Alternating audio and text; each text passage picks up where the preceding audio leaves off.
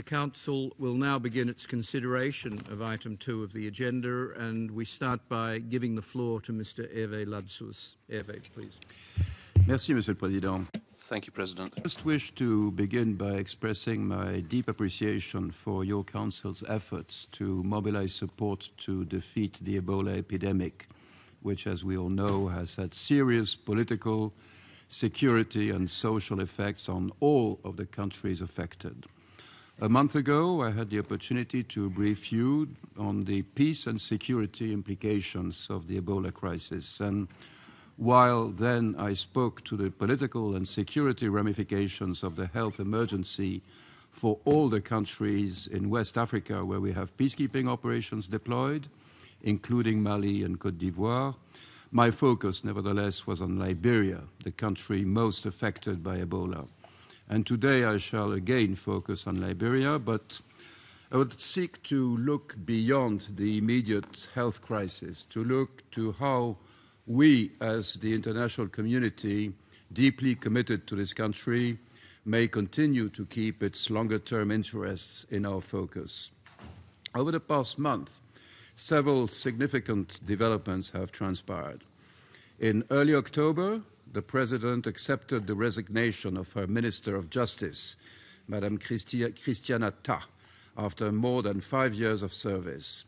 In departing, Mrs. Tah publicly claimed that she had been thwarted in her efforts to perform her responsibilities of stewarding national security institutions falling under the authority of the ministry. A few days ago, the National Human Rights Commission released a report challenging the findings of a board of inquiry into the actions of the army while enforcing a quarantine of an Ebola affected community in Monrovia. Five soldiers have been found guilty of disciplinary offenses related to the incident and have received demotions as well as custody sentences. But the question of criminal prosecution remains. Following direction from the President and the legislature, the national body responsible for elections has held consultations with various stakeholders on how to proceed with the senatorial elections that, under normal circumstances, would have been held on the 14th of October. Many within the civil society have raised serious concerns about the appropriateness of proceeding with senatorial elections, while at the same time, the electoral body has recommended to the legislature the holding of those elections on the 16th of December, and this is presently under consideration. Yesterday, the 90 day state of emergency imposed by the President to re- respond to the health emergency has expired, and there are presently discussions within the legislature regarding its possible extension. Last month, Mr. President, I spoke about our fear of reversal triggered by the Ebola crisis, and the Council is familiar with the challenges facing Liberia, and these have been exacerbated by the health emergency. Political and social divisions in Liberia are deepening.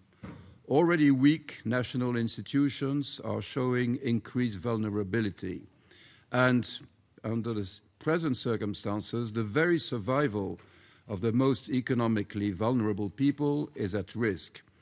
As I told you last month, even the small dignities of our shared humanity, the ability to touch, to comfort loved ones, all this has disappeared in the context of Ebola. However, in the midst of this serious crisis, there is some good news we are no longer seeing signs that security could seriously deteriorate further.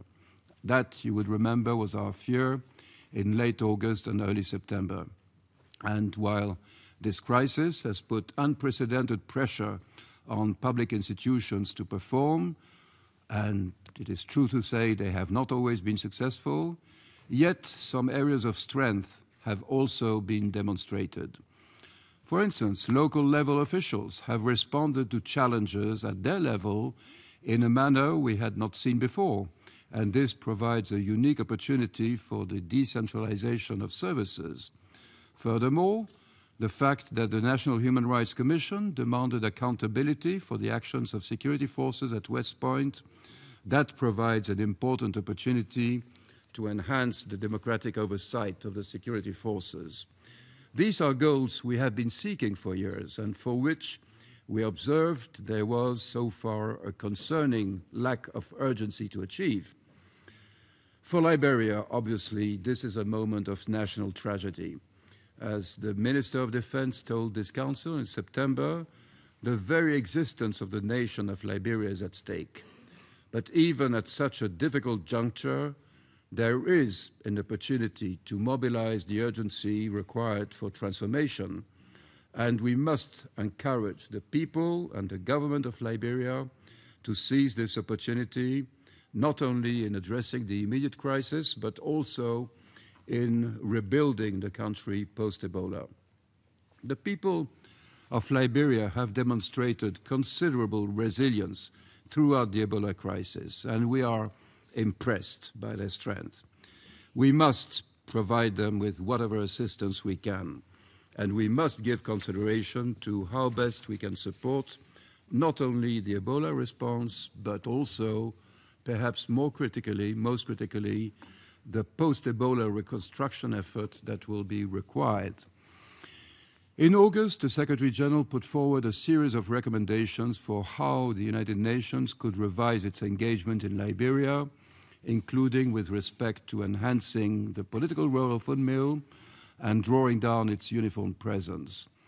In the current circumstances, we are of the view that it would be appropriate to extend the mandate of UNMIL until September 2015, while taking forward the set of recommendations on political issues and deferring consideration of the drawdown of troops and police until such time as the appropriate health authorities inform that the Ebola crisis is over.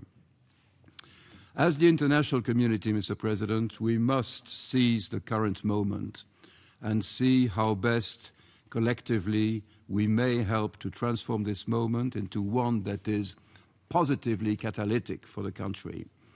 We may need, as the Secretary General put it in his report in August, we may need to reimagine our engagement in Liberia, even as the international community scales up its response to the immediate challenge of defeating Ebola. We must also consider how collectively we may support the rebuilding of Liberia post Ebola. I thank you, Mr. President thank uh, Mr. Ladsous for his briefing.